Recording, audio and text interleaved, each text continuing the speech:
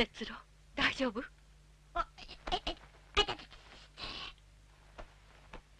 バカなことをするやつだ与作何を言うんじゃ。だってそうだろう。自分とは関わりない者のために怪我をするなんて。愚の骨頂じゃないか。哲郎はそういう子なのよ。え？自分のためではなく他人のために戦い他人のために涙を流すそんな生き方をしてきたのよ。どうかしてるぜ。人間誰だって自分のことしか考えないもんだ。みんなそうだぜ。そうかしら